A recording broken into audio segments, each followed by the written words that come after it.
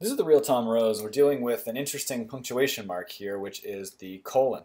And the rule for the colon is everything that comes before it must be a complete sentence, which it is, and everything after it should be a list.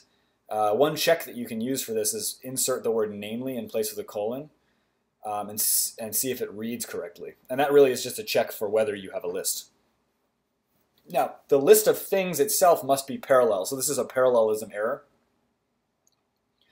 And one of the ways you check for parallelism is make sure all the parallel elements um, are the same part of speech. So security of body and empowerment, that's a, that's a noun. Self-esteem, that's a noun.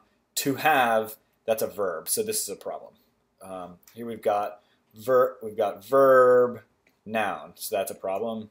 We've got in the third case we've got security to have. That's noun, verb.